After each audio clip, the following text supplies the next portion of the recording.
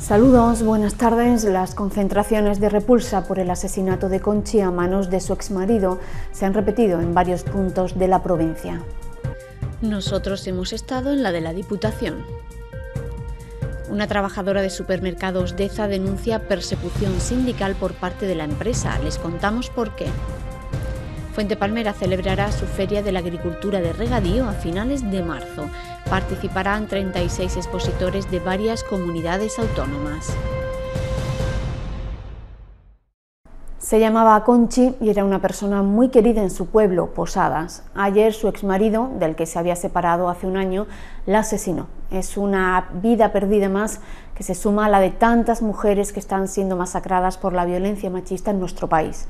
Hoy ha sido enterrada en el primero de los dos días de luto decretados por el ayuntamiento. A las puertas del Palacio de la Merced, sede de la Diputación Provincial, hemos asistido esta mañana a una de las concentraciones que se han celebrado en Córdoba para condenar un nuevo asesinato machista. Cinco minutos de silencio en memoria de Conchi, la vecina de 65 años a la que mató ayer su exmarido. Ocurrió en Posadas y el alcalde de la localidad se mostraba hoy muy afectado. Pero nosotros lo que convertimos es toda esta fuerza, o queremos convertir toda esta fuerza en, en apoyo y trabajo de cara al futuro, en que nos sirva todo esto como reivindicación para que ningún pueblo, para que ninguna familia tenga que verse afectada de nuevo por una situación como la que está viviendo hoy Posada, que como dije ayer también, uno lo ve siempre desde, desde fuera y parece que estos hechos no van a pasar nunca en un municipio, pero nadie nos libramos de esto y lo que hay es que afianzar el trabajo y seguir adelante para ganar la batalla a esta lacra que es la violencia de género. La presencia de testigos en los hechos ha posibilitado que se acelere la investigación. Se sabe que la víctima no había presentado ninguna denuncia por malos tratos, pero sí que había acudido al Instituto Andaluz de la Mujer en busca de asesoramiento. De hecho, había participado en varias ocasiones en actos contra la violencia de género. Hoy no ha podido estar en esta concentración a la que han asistido representantes de todos los grupos políticos excepto Vox. Claro, cuando golpea la violencia de género en nuestro municipio, percibimos que no se trata de estadísticas, percibimos que no son números, sino que son mujeres asesinadas, familias destrozadas. Y aquí es donde no cabe ningún mensaje ambiguo sobre la violencia de género y mucho menos mensajes que niegan la propia existencia de la violencia de género y que la llaman con otros nombres como violencia intrafamiliar. Eso no ayuda a luchar contra la violencia de género. El pacto de Estado suponía una unidad de todos los partidos en aquellos elementos que generaban un consenso en torno a la lucha contra la violencia de género, pero si ese consenso se rompe, si admitimos que los derechos de las mujeres entren en negociación, eh, dependiendo de la oportunidad política como está ocurriendo hoy en la Junta de Andalucía, desde luego vamos a caer en una banalización de eh, esta lacra. Conchi ha dejado dos hijos y dos nietos. No olviden sumarse este domingo a la manifestación del Día de la Mujer. Tenemos que seguir con otros asuntos. Fuente Palmera prepara ya la cuarta edición de su Feria de la Agricultura de Regadío. Con ella pretenden convertir a esta localidad en un punto de encuentro del Valle del Guadalquivir.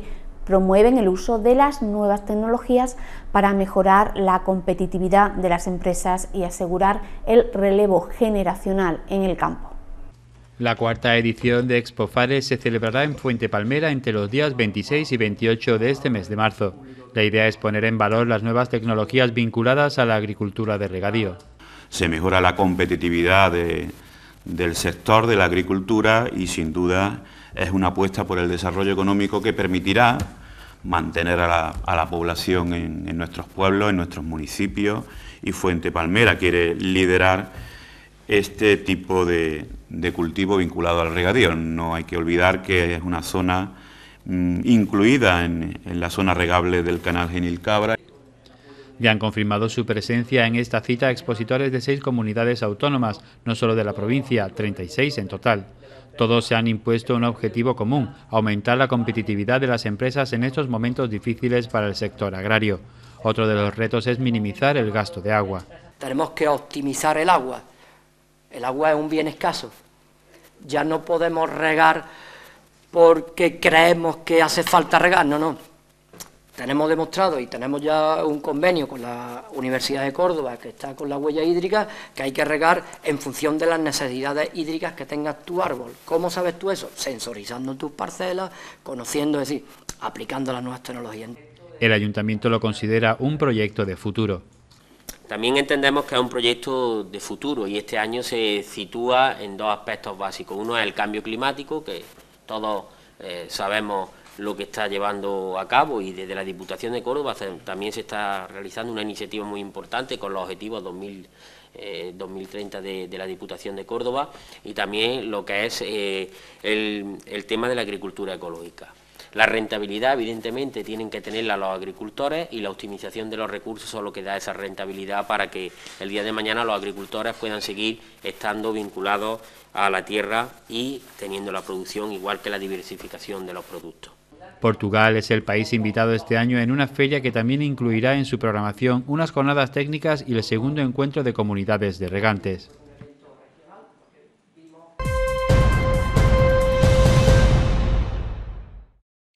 Delegados de comisiones obreras se han concentrado esta mañana a las puertas del supermercado Deza situado en la esquina de Ronda del Marrubial con Ollerías.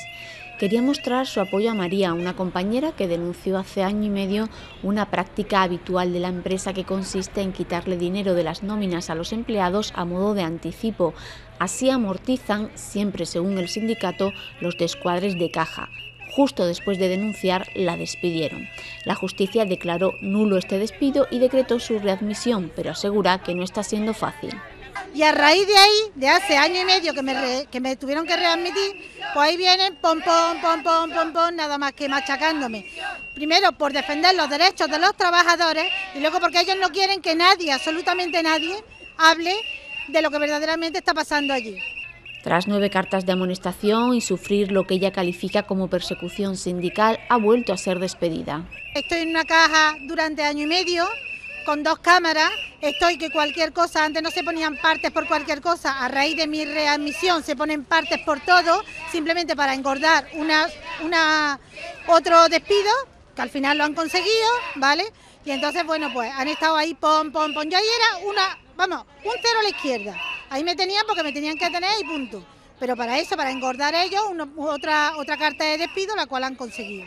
Se ha denunciado por parte de Comisión Obrera, le va a llevar lo que es la Federación de Comisión Obrera y esperando estamos porque la empresa no se ha puesto en contacto con nosotros para nada. Los municipios con más de 20.000 habitantes no podrán acceder este año a las subvenciones que concede la Diputación de Córdoba en materia de medio ambiente. Es la principal novedad de una convocatoria que se acaba de publicar en el Boletín Oficial de la provincia y que tiene en esta edición un 11% más de presupuesto, 300.000 euros en total. A la modalidad de proyectos de inversión se destinan 210.000 euros y 90.000 a la de proyectos de gasto corriente. En la primera se pueden subvencionar actuaciones relacionadas con dispositivos de telegestión para zonas verdes, recuperación de pozos de titularidad municipal, limpieza de fuentes públicas, sondeos o recuperación de lindes de vías pecuarias y caminos. También observatorios astronómicos, jardines verticales o la compra de mobiliario urbano sostenible. En la segunda modalidad se pueden incluir, por ejemplo, campañas de sensibilización, educación ambiental, voluntariado, talleres de formación y guías de buenas prácticas. Cada ayuntamiento recibirá como máximo el 80% del coste total. El objetivo de o el fin de, la delegación de poner estas convocatorias en marcha para los ayuntamientos es hacer pueblos más sostenibles, hacer pueblos en el que eh, los ayuntamientos enfoquen, su proyecto al medio ambiente y en definitiva hacer pueblos más, más saludables. El plazo para presentar los proyectos se cierra el día 24 de este mes. Ayer lo hizo su secretario provincial y ha sido la portavoz del Grupo Municipal Socialista la que ha pedido a Partido Popular y Ciudadanos que se pronuncien a favor de la escuela pública. Lo harán con una moción en el próximo pleno ordinario de este mes de marzo. En el día previo a la huelga educativa, el PSOE ha vuelto a denunciar lo que considera un ataque de la derecha andaluza a la escuela pública. Lo que hemos visto durante estos días como dos partidos políticos de la derecha, Partido Popular y Ciudadanos, desde el Gobierno de la Junta de Andalucía aprueban un decreto que regula el procedimiento de admisión de nuestros chicos y chicas en los centros escolares. Un decreto que yo sí les voy a poner un calificativo, es innecesario y además injusto. Y les voy a explicar por qué. Porque igualan a la educación concertada a la pública, generando con el paso del tiempo, si esto no se frena, alumnos de primero y alumnas de segunda eh, opción. Recuerda Ambrosio que hasta ahora el 95% de los padres conseguían matricular a sus hijos e hijas en la primera opción elegida. Este cambio eh, lo que pretende no es favorecer la libertad de los padres para acceder y escoger un centro escolar. Lo que van a hacer a partir de ahora, porque eso ya estaba garantizado, es decidir los centros quién quiere que esté matriculado y quién no quiere que esté matriculado en sus centros escolares. Se trata de un paso más hacia el desmantelamiento de la escuela pública, ante el cual, desde luego, ya le anuncio, no creo que además le sorprenda, que nosotros desde el Grupo Municipal Socialista no nos vamos a quedar Entienden que la educación no puede ser un negocio, que la concertada debe ser solo un complemento a la pública y creen que los ayuntamientos pueden hacer su aportación porque tienen más competencias en esta materia aparte del mantenimiento y las obras de mejora. Tienen que ver también con la apuesta que se hace desde un gobierno municipal para acercar y para acceder a los centros de educación pública. Tiene que ver con la programación de actividades de carácter cultural para ampliar aún más los conocimientos de nuestros pequeños. Y tiene que ver también con una apuesta por el acceso a la práctica deportiva y a otras actividades que puedan complementar nuestra agenda en el conocimiento de, de contenidos. 35.000 euros es la cantidad que destinará este año la Diputación Provincial a su red de deporte local. Esta octava edición tendrá un 20% más de presupuesto que la anterior.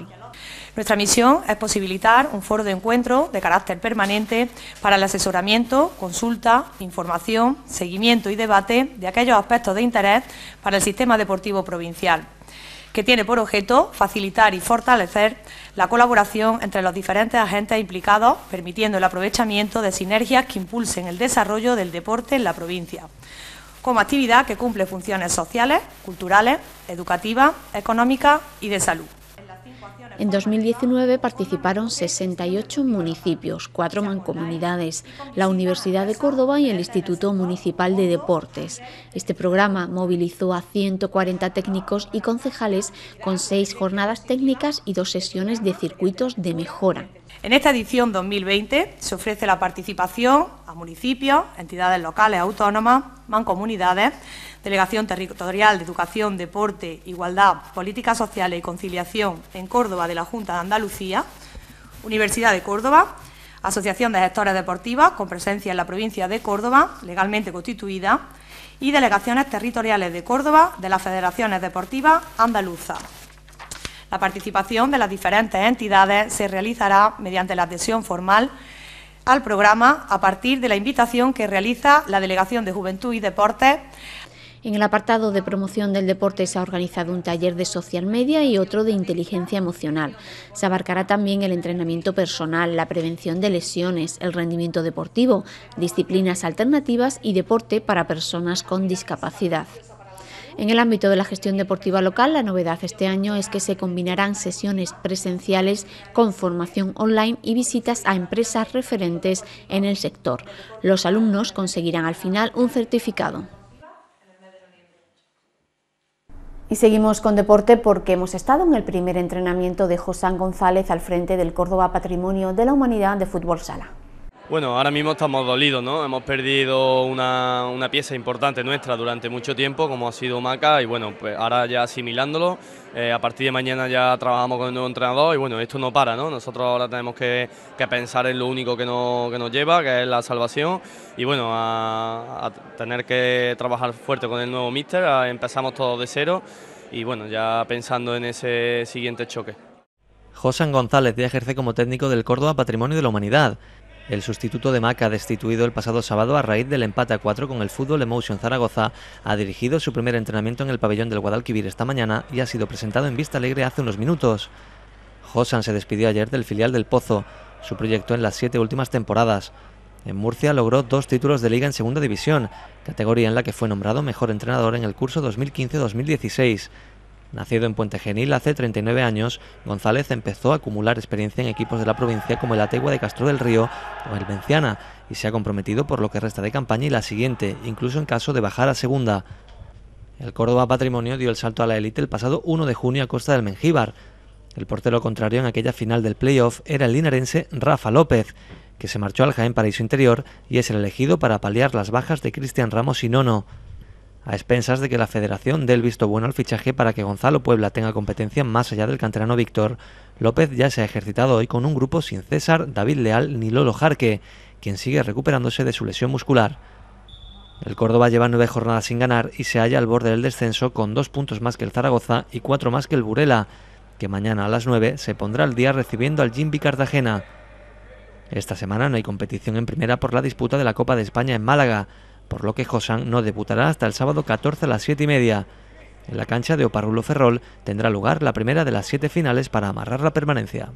Bueno, por suerte este cambio ha venido con una semana de intervalo, ¿no? Para poder trabajar con el nuevo entrenador, traerá nuevos conceptos como, es lógico y bueno, pues a partir de ahora a empezar a, trabajar fuerte para ir a Oparrulo, que desde ya tenemos esas siete finales que creo que, va, que va a ser lo más importante para poder salvarnos. Y bueno, y a nivel individual tenemos aquí al capitán de un equipo que subió plagado de cordobeses, que marcó el primer gol del Córdoba en primera división y que supongo que para ti es un orgullo dar brazalete con cada partido en Vista Alegre, con el pabellón lleno, supongo que es un orgullo lo que está disfrutando ahora, Manu. Bueno, la verdad es vivo un momento muy bonito, ¿no? Es, vivo en Córdoba, que es mi ciudad, con mis colores, con mi gente, mi hermano dentro del vestuario, bueno, para mí es un orgullo y una satisfacción, ¿no? Salir al campo y ver siempre el campo lleno, con nuestra afición, pero bueno, como yo siempre digo, esto es un premio colectivo, vengo yo a recogerlo, pero bueno, esto es de todos y ese año inolvidable que vivimos el año pasado es mérito de todos.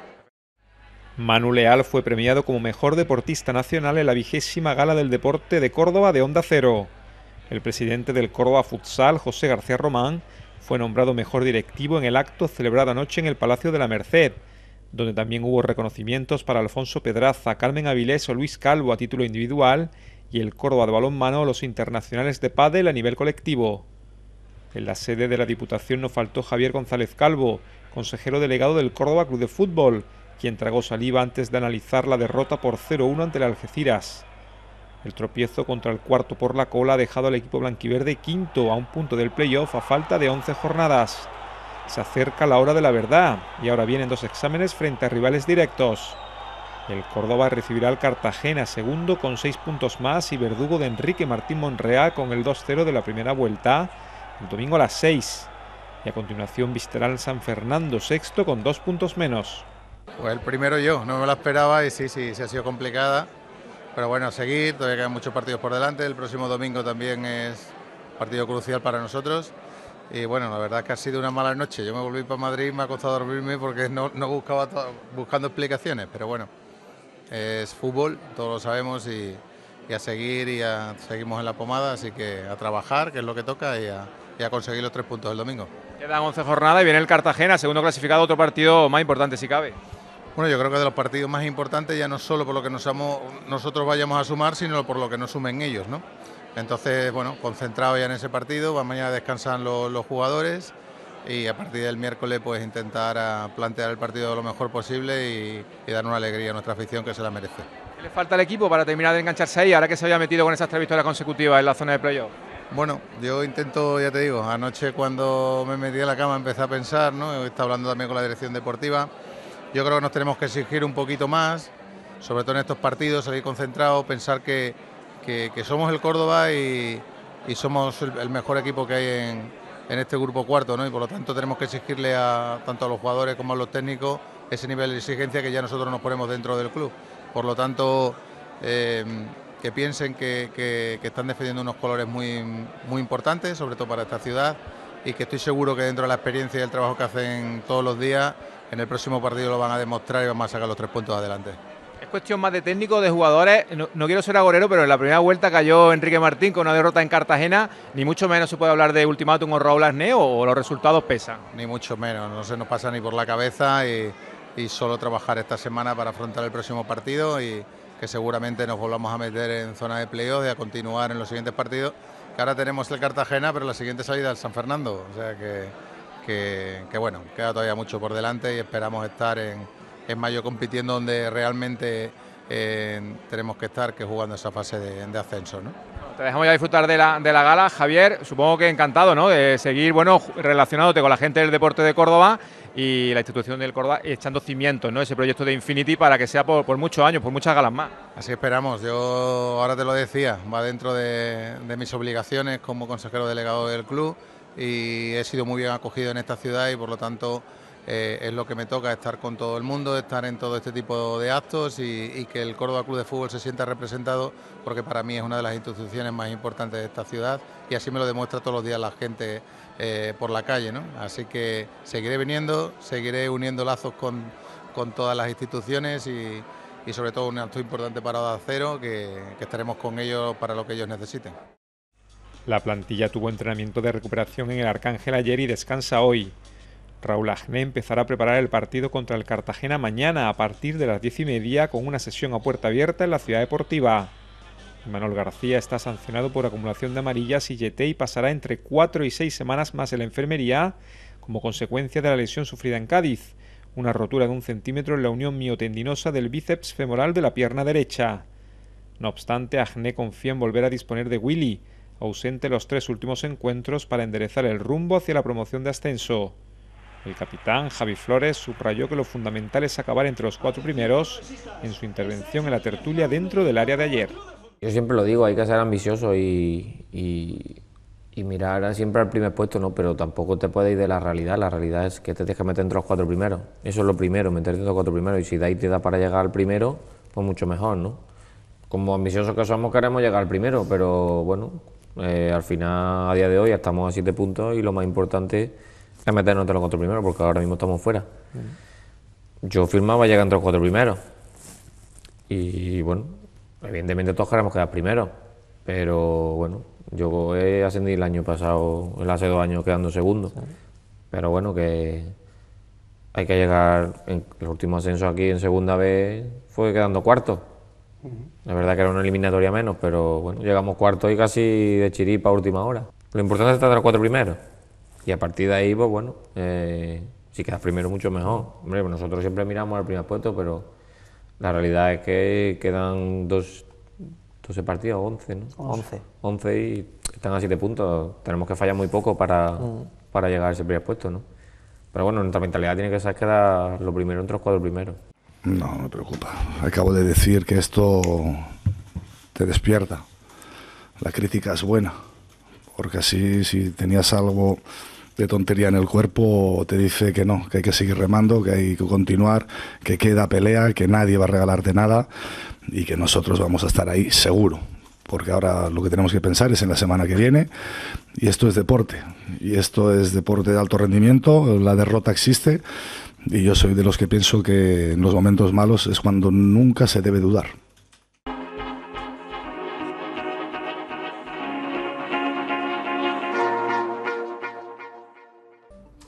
Esta es la predicción meteorológica para mañana miércoles 4 de marzo en Córdoba y provincia.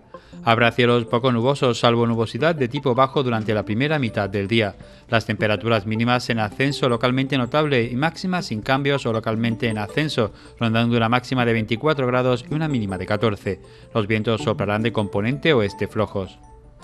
Esta fue la combinación ganadora en el sorteo de la Ponoloto celebrado ayer lunes 2 de marzo. 4, 8, 10, 13 22 23, número complementario 43 reintegro 1. Y el número premiado en el sorteo de la 11 fue el 66.712 66712. Con la agenda terminamos. Gracias por acompañarnos y hasta mañana.